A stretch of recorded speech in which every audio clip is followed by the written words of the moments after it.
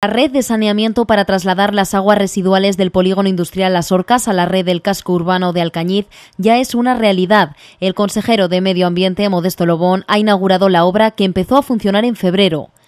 La ejecución de estos trabajos, cuyo proyecto se comenzó en la anterior legislatura, ha supuesto una inversión de 602.000 euros. Han estado financiados por tres administraciones, el Instituto Aragonés del Agua, el Ministerio de Industria y la Diputación de Teruel. La provincial, el Ministerio y, y el propio Gobierno de Aragón, con la ayuda, por supuesto, y la base del Ayuntamiento.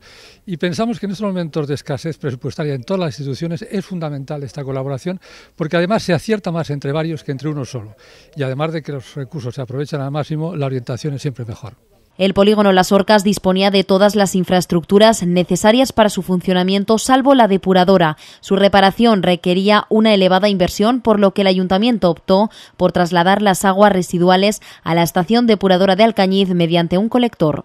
Pues por un lado supone una tranquilidad ¿no? de tener garantizados los, los, vertidos que van a una depuradora y por otro lado supone una responsabilidad, es decir, ahora va, más que nunca van a estar controlados pues esos vertidos de las diferentes empresas a, al colector para que evidentemente pues la depuradora no tenga ningún tipo de, de problema y se han colocado dos bombas, una para que esté en servicio y otra para que esté en reserva.